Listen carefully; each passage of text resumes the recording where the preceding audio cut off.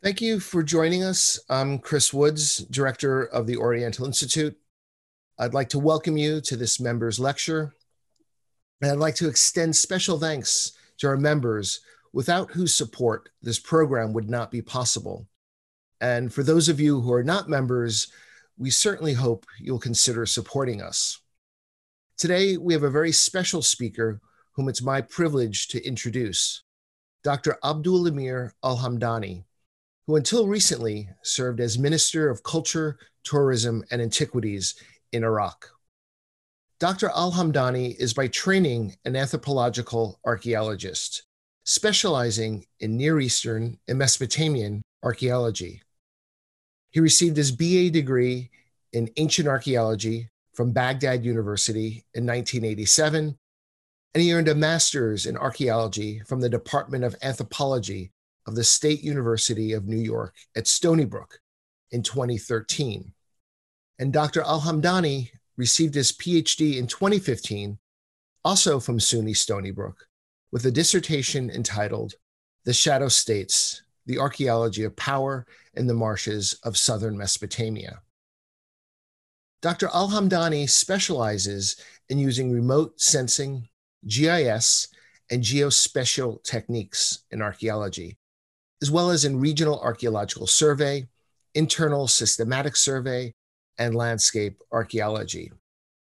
And in addition to serving as the Minister of Culture, Tourism, and Antiquities in Iraq, Dr. Al Hamdani has served as the chairman of the State Board of Antiquities and Heritage, the director of the Antiquities Office of Dhi Qar Province, and the director of the Nasiriyah Museum, and he has led numerous excavations in Iraq. I also want to add that Dr. Al Hamdani has been a great friend to the OI, having been a strong advocate for us in resuming our excavations at Nippur and in expanding our archaeological concession to include the sites of Drehem and Tel Lehem. Today, Dr. Al Hamdani will be speaking about a topic of great interest to us as we resume our excavations in southern Iraq Iraq's heritage and update. We hope you will enjoy this online OI members lecture. Hello, everyone. This is Abdulameer Al Hamdani from Iraq. Today, I will be talking about the current situation of Iraq heritage and update to the situation of Iraqi archaeological heritage, uh, specifically during the last two years, 2019 and the first half of 2020, when I was the Minister of Culture and Antiquities in Iraq. So today I will be giving you an update to the current situation, starting with the fieldwork, excavation, and survey projects that have been done by uh, national and international expeditions and uh, then the new digital database of archaeological sites in Iraq, and then the uh, uh, current situation of the world heritage uh, sites, and then I will be also talking about uh, Mosul heritage, the Nineveh province heritage, and then I will be talking about the Iraqi museums and the you know specifically the central museum in Baghdad and the, the provincial uh, museums. And then I will be talking about effort of restoring stolen artifacts and uh, protecting archaeological sites. Then I will be also talking about the uh, publications, specifically the Sumer Journal. And then finally, I will be talking about the, the cultural relationship between the State Board of Antiquities or between Iraq in general and the international community, including the institutions, universities of and uh, museums. So for the excavation, indeed, in 2019, you know, most of the work have been done in 2019 and nothing been done in 2020 because of the current situation of COVID-19. Starting from the first uh, half of 2019, there was uh, there were a lot of expedition, international expedition, but before going to that, I will give a, a brief description of the national effort, uh, the, the State Board of Antiquities uh, have done salvage excavation to rescue some of archaeological sites that been damaged by uh, uh, modern development, building a new roads and infrastructure could uh, affect the sites. So the State Board of Antiquities have sent teams to rescue these uh, sites to to dig these you know sites and that's the you know usual or in the normal work of the State Board of Antiquities. Also, the State Board of Antiquities uh, have gave uh, you know permission to some universities, Department of Archaeology in some uh, universities, specifically in the in the south, to carry out uh, field school, to carry out excavation, to train the student and the faculties ways of collecting data and ways of doing excavation, practical work after uh, taking theoretical classes they would go to the to the field and do excavation. So for example last year uh, the uh, university of babylon uh, to the to the south of uh, the city of uh, babylon has carried out a excavation in an old babylonian settlement called Dilbat. So they did discover a temple dates back to the uh, to the Hammurabi era, and uh, uh, they will continue working like that. So this kind of permits will will be given also to other universities. Mosul University, for for example, uh, has applied last year to get a permit to work in Tel Qoinjaq, the ancient city of Nineveh and they will do so uh, next year as well as uh, University of Kufa and University of Samarra. So for the, then for the international expeditions, indeed, last year we had expedition from all over the world, American and European uh, universities. They have carried out excavations in the south as well as well as in the uh, Kurdistan region of Iraq so for the south, uh, indeed, we had uh, the University of Pennsylvania. They did work at the, the ancient city of uh, Nippur, and this is their first season to map the site and to do some sounding. And also, Stony Brook University, they have uh, done the, the, their third season digging at the ancient city of Ur but they will stop excavate the site and the permit will be given to Pennsylvania University, uh, which is also uh, they have been dug in the in, uh, in ancient city of uh, Lagash. A team uh, last year uh, dug at at Lagash, and so they will continue both you know working in Lagash and at Ur and as well as some American uh, universities in the north in the in the Kurdistan region, working there. British expeditions also were there. The British Museum did work at Girsu, the site of Tello, which is located to the to the north of Ur and to the west of uh, Lagash, and also a team from Manchester University uh, carried out an excavation, uh, the third you know season of them to work in uh, a, a, site called Khaybar uh, to the north of Basra, which uh, dates back to the Alexander era. Uh, some some like a port that been established by Alexander the Great and in the, during the Seleucid and Parthian period, and they did you know discover a lot of buildings over there uh, public buildings, so they will continue uh, uh, working for next year. The Italian expedition also have dug in the ancient city of Nina. Roma La, Sapienza have carried out the fourth season in the ancient city of Nina, which is located to the south of Lagash. Um, dates back to the early dynastic era. And then there is also another expedition, another team from La Sapienza did work, that carried out the, the eighth season in site called Abu Tbera, dates back to the same period, but uh, next to uh, Ur. And there also a, a, team, an Italian team, worked in Tel el Bugharat, which is located to the northeast of uh, Nippur, uh, mainly from uh, the New Babylonian period. Now, the French expedition that used to work in Larsa before the 1990 war of Kuwait War, they returned back to the site of Larsa and carried out their 14th season both in Larsa, uh, the major city, the major urban center of Larsa, and the nearby small Obadian settlement of Tel al And uh, so for them, it is kind of continue working there and return back to their field work after almost uh, 30 years.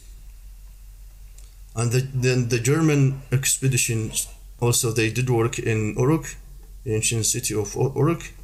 A team worked there to continue their seasons and their their work, which started you know years ago.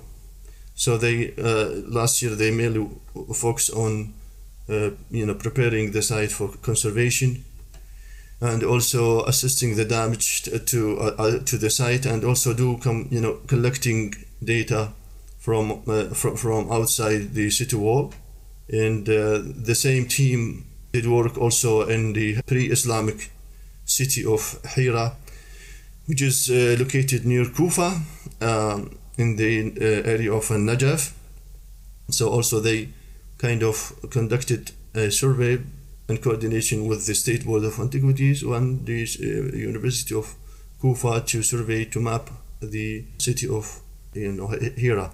And the site been uh, really affected by building an airport and uh, Najaf airport, so a lot of activities were, were going on there to rescue this area. And also another German team uh, worked in the Tel Toba which is a part of the ancient city of Nineveh.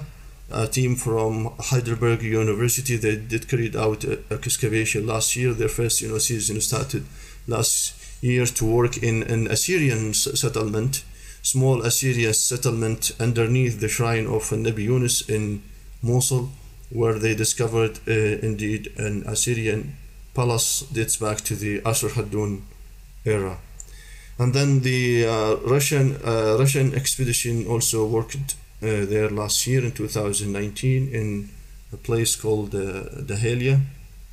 So Dahelia is next to Eridu. It is a you know major uh, urban center, almost uh, 60 hectares. Um, this back to the to the to the to the period uh, after Hammurabi reign late old Bab- late old Babylonian period, which could fit with the with the era of the first Sealand. So in my dissertation, I was focusing on uh, surveying the area in the Eridu plain. So I came out to the uh, hypothesis that the site of uh, Dahelia could house the uh, capital city of the first Sealand dynasty. And the site been surveyed by by uh, Henry Wright in 1966, 65, 66, but uh, uh, uh, a new uh, satellite images show, show that the site uh, has a density of architecture as well as city wall and a port. So I kind of proposed that to the to the uh, Russian uh, expedition. So they have started working uh, on the site, mapping the site, collecting data, and doing soundings. And the result, the finding, indeed, kind of approved that it is it you know dates back to the late old Babylonian period, uh, which could fit with the uh, with the uh, with the era or the time of the uh, first Sealand dynasty. And then uh, the Slovak expedition uh, worked at the ancient city of Umma, southeast of uh, Nippur, and the city was heavily uh, attacked by looters. So it's kind of you know salvage excavation to rescue the site, besides you know doing their scientific work. So they they, they, they kind of carried out their third uh, pro- season there and hopefully will continue working there to rescue the site everybody knows that you know Umma been attacked by looters since 2000 uh, and and even before that. Indeed, so it is indeed a good opportunity to safeguarding the site. Now that's for the south and the the uh, the uh, what called the center and the north of, of Iraq, but also in Kurdistan region, um, American and European universities they also have done uh, field work there, excavation, survey, and conservation during the uh, 2019, um, uh, mainly in Erbil and Suleymaniye uh, provinces. So they will also hopefully continue next year to do so their uh, uh, excavations. So that's for uh, excavation and then survey a project also the state board of antiquities have carried out some you know project by itself collecting data from this uh, from, from the site the employees of the state board in in each you know, province. They you know on you know daily or normal job there to go to the field to do some inspection and to, to also document some of the sites. And so every every day we would have a, new survey or an, uh, a new a new team going to the field to collect data but also the state board of, of antiquities has kind of you know coordinate with some international expeditions to do survey intensive systematic survey uh, specifically with the Italian expeditions. Uh, there was uh, an Italian project called QADIS, uh, who mainly trained the staff of the universities of Kufa and uh, Qadisiyah to between Nippur and Kufa to train the staff and the student ways of collecting data and assist the condition of these sites of course, that with, coordinate with the State Board of Antiquities. And there also were, were two expeditions surveying, one in Nineveh and Talqoinjak, led by Italian expedition to assess the condition of the site and also to collect some data. But also there is also uh, there was also an Italian expedition working in the area to the southeast of Baghdad the the the the, the area been surveyed by Robert Adams alongside the Tigris um, to collect you know data to document the archaeological site and irrigation systems.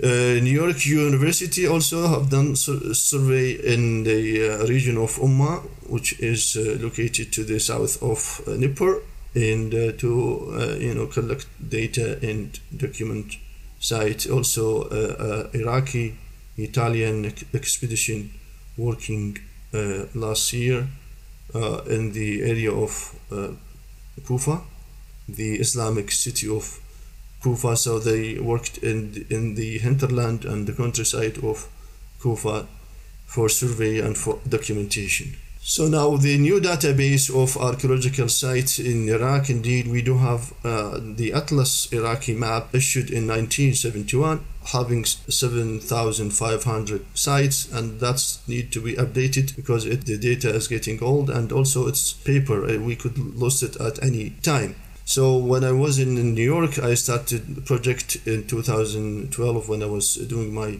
PhD dissertation. In 2012, I started a project to uh, digitize the archive of you know maps, Iraqi army maps, uh, uh, the State Board of Antiquities map, any available map. I digitize it and you know coordinate it with the uh, GIS and create a shape file of each of these 15,000 sites. And so the data I collected, it was from the previous survey uh, project in Iraq uh, by, for example, Robert Adams, Tony Wilkinson, uh, Henry Wright, uh, McGuire Gibson. I got this data and digitized it. Then my survey, myself uh, and my team started surveying some of the uh, areas in the south, collecting almost data from 1,200 sites, adding them to the Atlas map.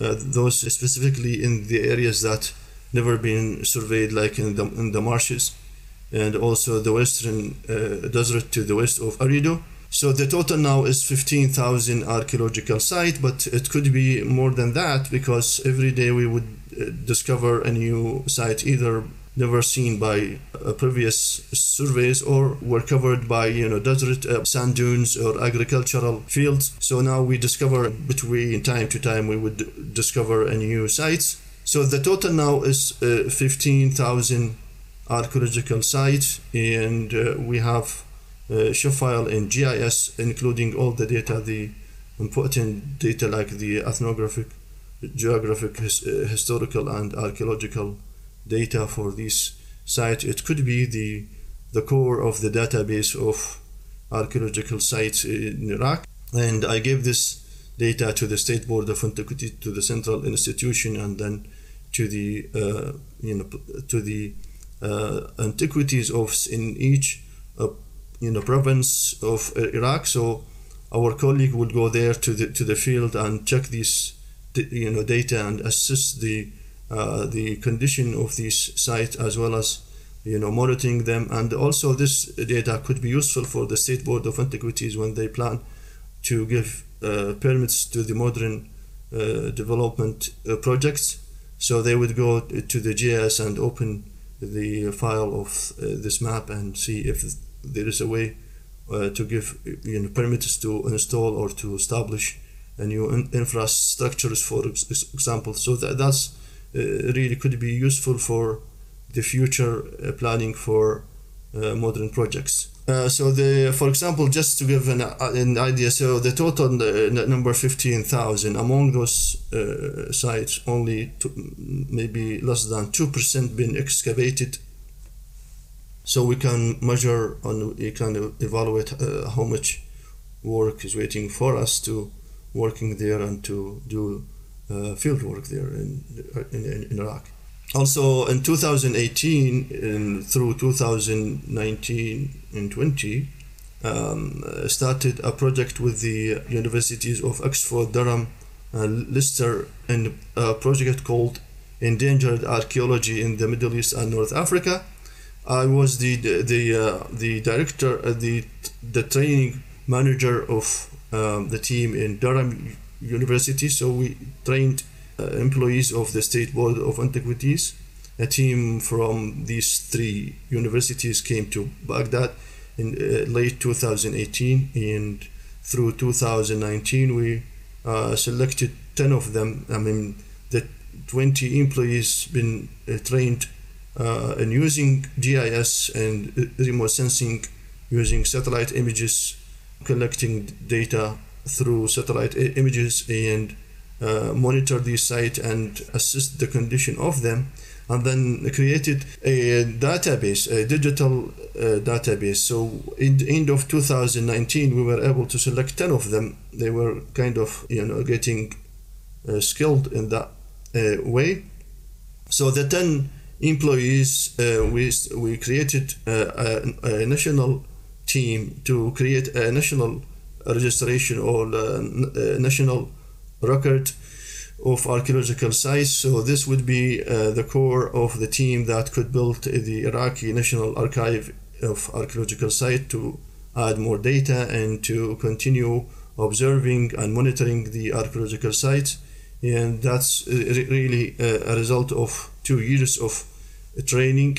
Then the World Heritage Site of the UNESCO we have almost 11 sites, uh, natural and cultural uh, sites on the list, including Hatra, Ashur, Samarra, the citadel of Arbil, uh, Babylon last year, Uruk, Eridu, Ur, and the southern marshes, which have four components, all of them natural. And then uh, that's not enough for, for Iraq. So last year we created a national team to kind of to uh, prepare to nominate new sites. So we have a tentative list of 12 new sites to be nominated to the UNESCO in the coming years, including the the Azidian temple of Lalish, which is located to the north of uh, Mosul.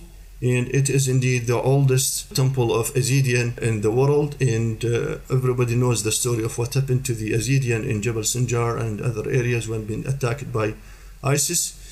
So we put that uh, just to support the Yazidiyyan to put you know their temple on the the World Heritage list, and then the uh, the the list includes also Nimrud, the medieval city of uh, Mosul, the, the medieval city of Baghdad, and also the ancient the Islamic city of Wasit.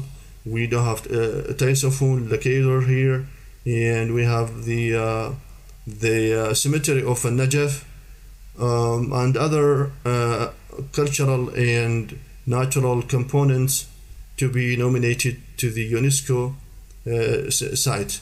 For Babylon, indeed, as you, you know, it was inscri- inscribed to the World Heritage List in 2019 in Azerbaijan.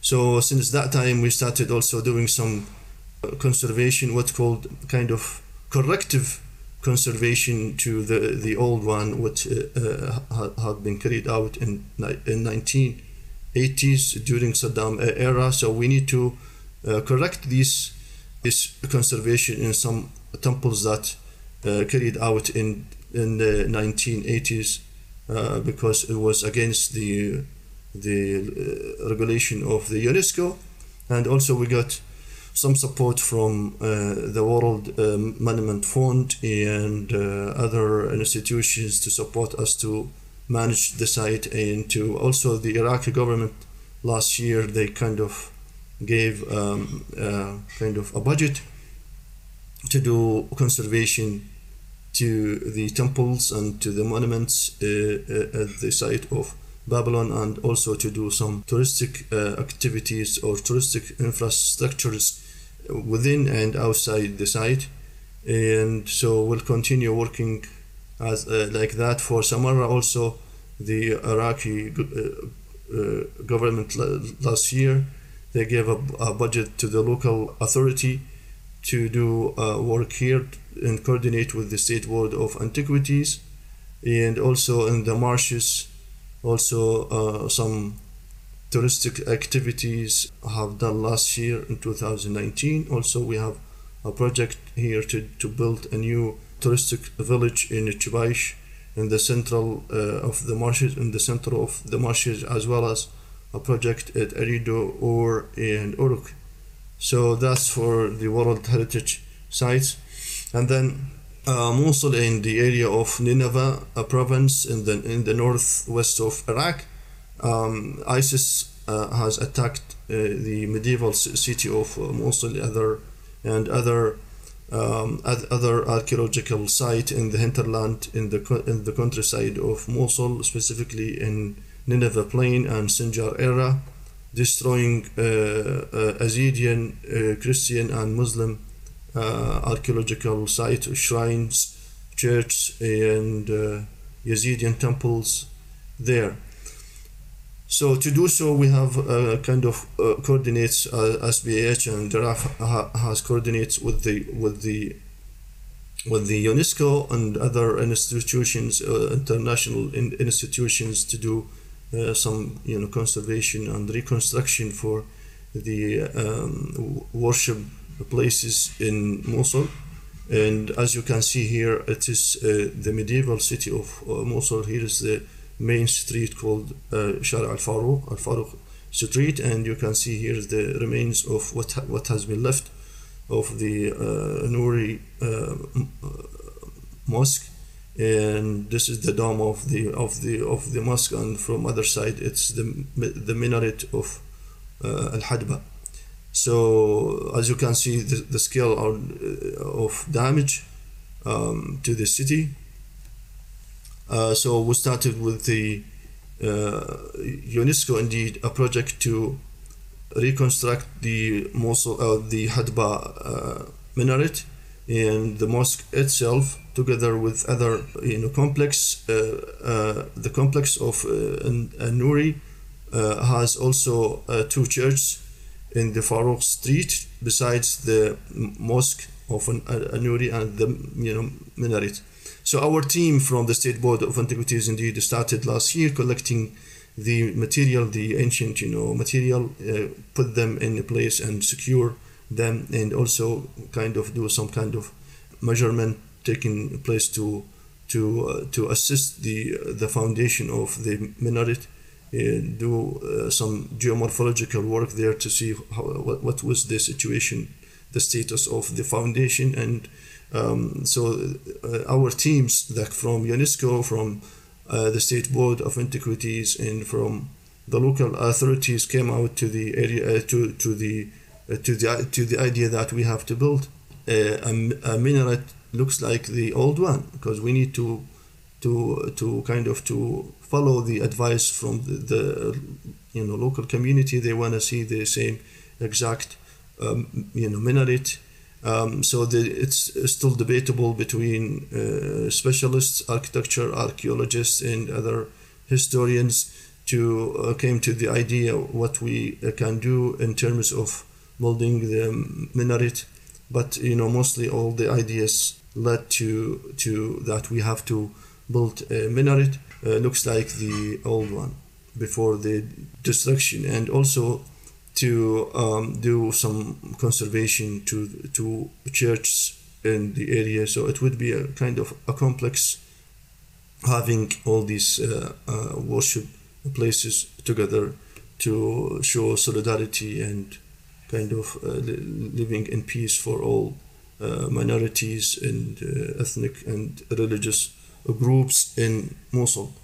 And this is also applied to the uh, other part of the medieval city of Mosul. Here we have a church and here we have a mosque. So, with the European Union project, we would start in the last year we issued uh, that we have to start, you know, conservation in some of heritage buildings, private and uh, public buildings, mosque and churches in the in the area. Just to give an example of what we need to do. Indeed uh, the city is really huge. The medieval city of uh, mosul is really big.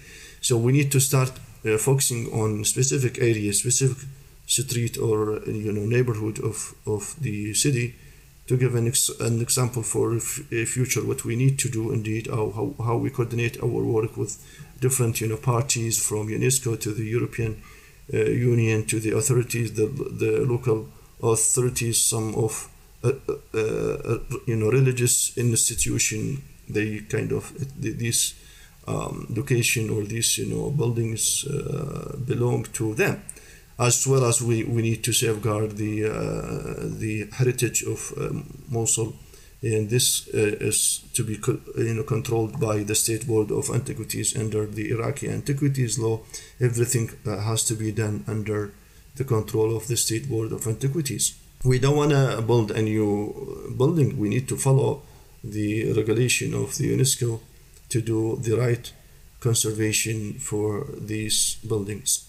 Also, on the other side of the, the city of Mosul, there is the shrine of uh, Nabi Yunus, and uh, it, it is indeed it's called Tel Toba, and it is the other part of uh, Nineveh city, the ancient city of uh, Nineveh, and the uniqueness of this site, it has uh, an Assyrian settlement with the Assyrian palace and uh, medieval Islamic shrine for uh, the Prophet Jonah and also an, a new modern um, usement. So we will have a complex of these th- three elements uh, th- that we started with uh, Heidelberg Uni- University to uh, to first to clean the area and to dig clean and dig the settlement, the Assyrian settlement, because ISIS have dug tunnels inside the uh, city, and uh, so we the the expedition, the team cleaned the uh, the tunnel and uh, did discover uh, winged bulls and uh, walls with inscription of cuneiform writing. So the plan is to do conservation, digging, excavation, conservation, and rebuild the, sh- the sh- shrine together with the uh, modern uh, amusements. So Heidelberg University indeed started working last year uh, for two seasons, indeed uh, focusing mainly on on excavation in the settlement in the Assyrian settlement, and hopefully with the uh, coming you know years we'll continue working to reconstruct the shrine uh, and coordinate with the religious authority in the city of Mosul. And then for Nimrud, the Assyrian capital city of uh, Nimrud, which is located to the east of Mosul.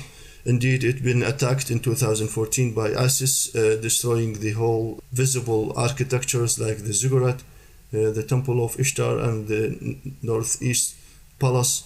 Here, as you can see, you, you can see it, it, was it was destroyed by ISIS, and the, there were a lot of winged bulls, uh, the so-called Lamassu, being destroyed by ISIS, and here you, you can see the remains of these you know winged bulls. So together, the uh, the State Board of Antiquities and the Smithsonian Institute institution, they started last year uh, collecting the broken parts of these uh, artifacts and put them in a secure place and hope, hoping to return back um, to do to to make also uh, measures of conservation and collecting data and uh, safeguarding the site. But thus, it that could take you know years because the city is heavily been demolished by ISIS uh, in 2014, and the same case could apply also to the uh, ancient city of Ashur, another Assyrian capital uh, located uh, to the south of uh, Mosul, alongside to the Tigris and bit affected indeed this time not by ISIS but by natural phenomena, wind and rain. Also, the city is located uh, very close to the Tigris, so it also been affected by erosion by the, the Tigris. So we started last year a project to safeguarding and protect the ziggurat, the remains of the ziggurat. We started uh, working there, and then I gave a, a, permit. We gave a permit to the American University in Iraq, uh, Suleimania, to lead to lead a project to mapping the site and do some kind of conservation in the temples, as well as we have you know taken measures last year to to protect the city from erosion of the Tigris. Hatra also uh, a pre-Islamic or a, you know Hellenistic classical uh, city located to the west of Mosul. And it been attacked also by ISIS destroying the statues and the monuments the the temples by ISIS. So last year we sent a team from SBAH the State uh, Board of Antiquities to collect the uh, broken uh, you know, artifacts and put them in a, a, a, a secure store, uh, hoping that we uh, will come back again to uh, assist the condition of the site and do some conservation together with the Italian team. Then for Iraqi museum and other provincial museums, the Iraqi museum last year we opened the museum and for uh, the public from from 9 in the morning to 6 in the evening and this is the first time indeed for the museum to to stay to be to be open uh, even after the workday and uh, at, the, at the weekend also it, it is open for the public and also some kind of conservation and restoration for antiquities uh, is taking place over there. Every uh, between time to time we would uh, receive artifacts from the you know population from the people as well as from other governmental institutions uh, to be restored in the uh, museum. Uh, also, the other museums that are open that are Basra Museum, Nasiriyah Museum, Muthanna Museum, and Babylon Museum. Those four museums are also open to the public, but we need also to open a new museums that almost done, like uh, the Museum of Kirkuk uh, to the to the north of Baghdad and the Museum of Maysan to the uh, southeast of Baghdad. But also Mosul Museum is really important for us to see it's open again to the public and to the population, to the community, to the society of uh, Mosul. It is you know remarkable place for the people of Mosul, and again it is also located within the medieval section or sector of uh, Mosul. So that's the uh, the current situation, the current status of the museum after liberation uh, the city from ISIS. We started a project with the Smithsonian Institute to kind of to evaluate the situation and start uh, reconstruction the uh, building and the geomorphological work that been done to the foundation state that it, it is in a good condition uh, that's been approved that it is in a good condition so after doing the conservation the reconstruction we also have the phase two which is displaying artifacts in the museum which that, that can be done and coordinate between the iraqi museum and the louvre museum and uh, the, the work uh, unfortunately stopped because of the COVID 19. Now, restoring artifacts in protecting site. For restoring artifacts, indeed, we do have a, a, kind of recovery department at the Iraqi Museum, observing and watching every day online what going on there regarding to the um, stolen artifacts.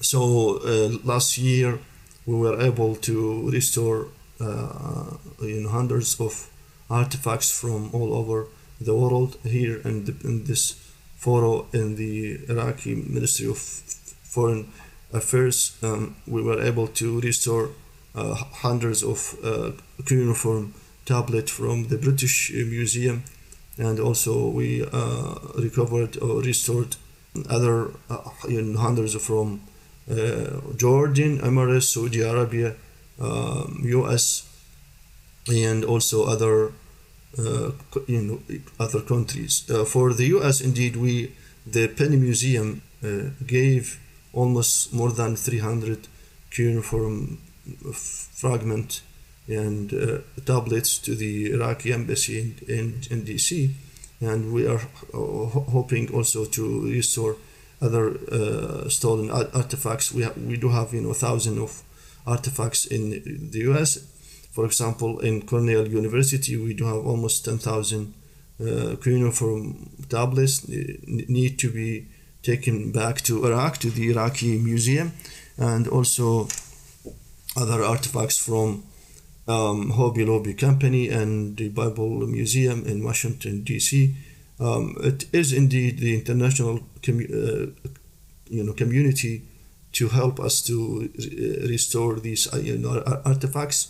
And we are, uh, you know, calling the international community, museums, uh, uh, you know, galleries to uh, you know, help us. But the the the very difficult issue is the you know the private collections that we never seen in the media or in the galleries, and so th- this is could be done if the international community support Iraq in doing so.